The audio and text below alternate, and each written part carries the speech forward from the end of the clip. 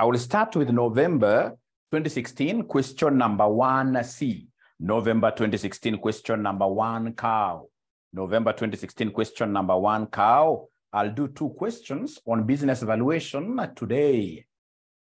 November 2016, question number 1 cow. Once you get that question, please put your thumbs up. Once you get that question, put your thumbs up. Frederick Wekesa, thank you very much. At least I saw your comment. And this other gentleman. I would want to see all these guys, great people here, Felix Jane, all these, Mr. Ward, all of them commenting on my videos. That's very important subscribing. Subscribing. I want to improve. I want to improve. I want to improve my pension, my pension in the future. So November 2016, question number one, see, we have in this case here, students are telling me already they have gotten these. The following data was extracted from the financial statements of XYZ Limited for the year ended 30th September 2016. So I can see total assets there.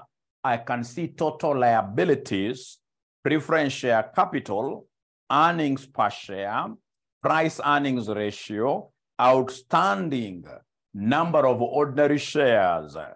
So that they want me to give them what they are calling book value per share. They want me to give them the book value per share. They want me to give them the book value per share. So how do I get this book value per share? I know, ladies and gentlemen, that book value per share is the same as net assets value. So when they talk of uh, book value, book value, book value per share, this is the same as what we call the net assets value per share. What I told you yesterday, we should be pronouncing as NAV, NAV. And if you can remember NAV, basically, the formula is very easy. Take the total assets, subtract any fake asset. Fake assets are intangible assets. Subtract any current liabilities, subtract non-current liabilities, and don't forget to subtract preference share capital if it is given there to arrive at this figure of net assets, net assets value. So then in this particular case, first of all, I'll have to get this NAV, the net assets value. This is what I want to get. I can see I have total assets I have total assets of 7 million. I have total assets of 7 million. I have total liabilities, total liabilities of uh, 4 million. Of course, these ones from the definition of NAV, they will be subtracted. I can see preference share capital, preference share capital, preference share capital, preference share capital of 500,000 and this, of course, will be a deductible amount. Remember, preference share capital has been categorized as a liability. Because at the end of the day, preference share capital holders, these preference shareholders, you must pay them back their money and uh, with a return, a fixed return, a fixed return. So, ladies and gentlemen, then take these 7 million, you subtract these two elements, and then you give me what, of course, I will call the net assets value. Net assets value net assets value or the book value or the book value. So they tell me to give them the book value per share. Book value per share is the same as net assets value per share. And how do we get net assets value? We take total assets minus all the liabilities, minus all the intangible assets, minus, uh, in this case, here, preference share capital. I'm being given there by Frederick, 2.5 million. Then I'll come and ask myself, how many ordinary shares do we have? Number of ordinary shares, number of ordinary shares, number of ordinary shares, November 2016. November 2016, question number 1C. Question number 1C. So how many ordinary shares do we have? Is there somebody who is able to see the number of ordinary shares outstanding? There are 400,000. There are 400,000. 400,000. And therefore, Therefore, the net assets, the net assets value per share, per share will be the 2.5 million, will be the 2.5 million. You divide this by 400,000. This one here will give us a how much here? So it means that you should be able to sell each share at how much? At that price. At that price. At that price. Which is 6.25. 6.25. So this is our share price, our market price per share now. 6.25. So are we together up to there? Have you been able to follow, ladies and gentlemen, up to there? Are we okay? Because I'm trying to connect what I did yesterday with what I shall be doing today. So this is quite a good reminder, quite a good reminder. I'm waiting for that gentleman who said yesterday that Mwalimu, your speed is very high to respond. I hope today now we are able to resonate, rhyme.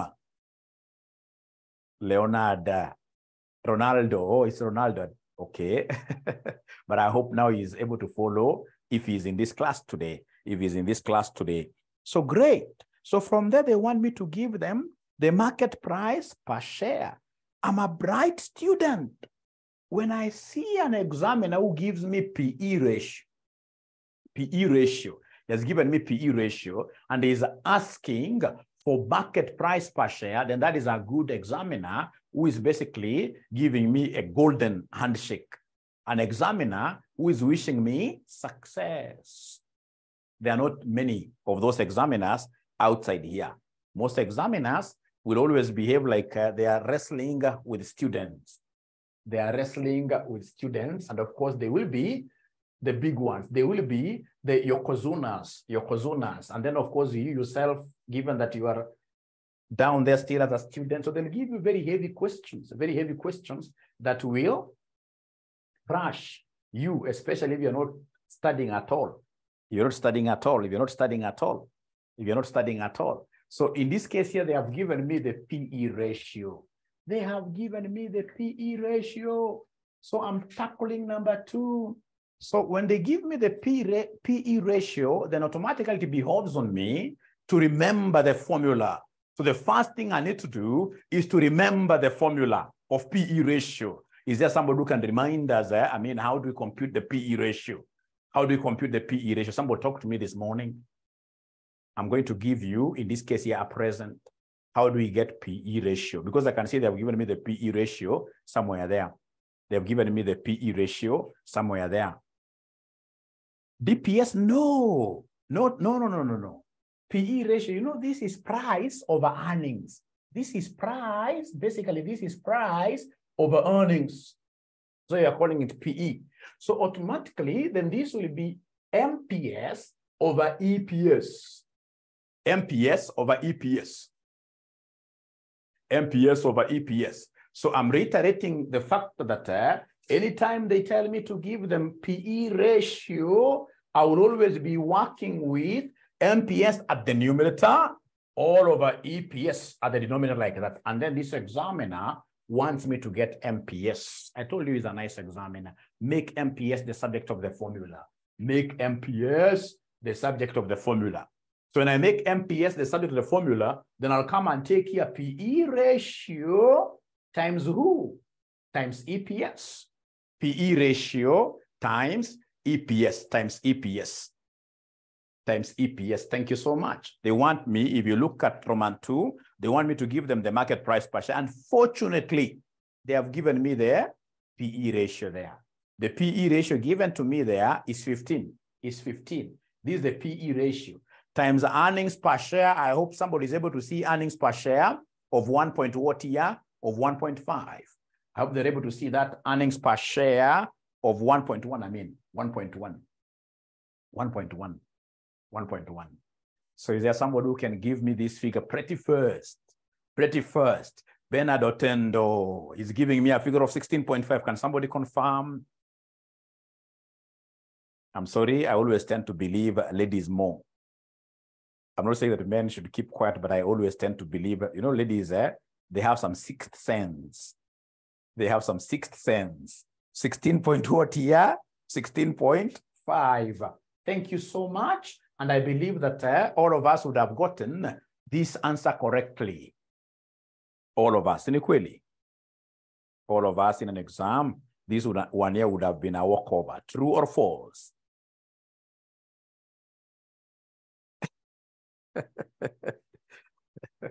I can see here I happen to be having a student who is joining us from this advanced level.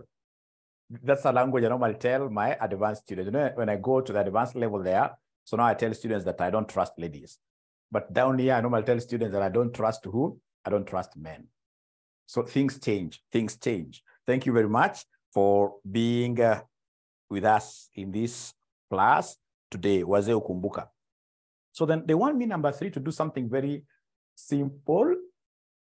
They want me to do something very simple here. They want me to give them in Roman 3 market value to book value ratio. Very easy. Market value to book value ratio. You know, financial management, if you get yourself failing in a paper called financial management, then straight away know that you have a problem. You have a problem because really, this is the easiest paper in CPA. This is the easiest paper in CPA. So this is market value to book value, to book value, to book value, to book value ratio, to book value ratio. So then the market value will be up all over. In this case here, this book value or NAV, NAV per share, the NAV per share. You know, NAV per share is the same as book value. Is the same as book value.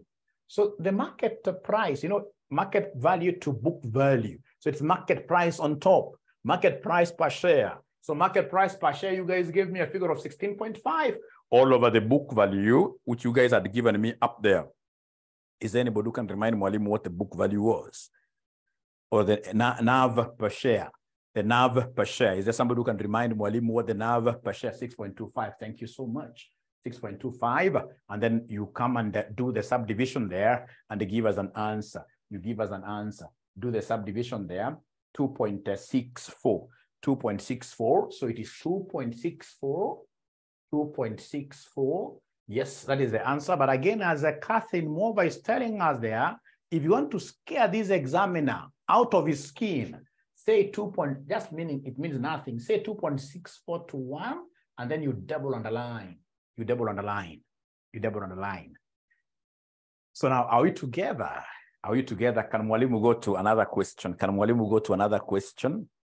Can Mwalimu now go to another question?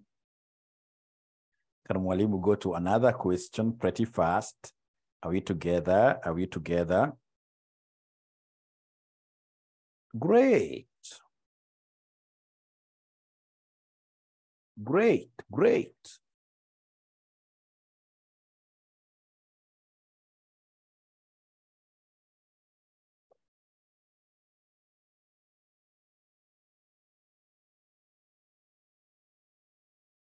Let's look at November 2017, question number three.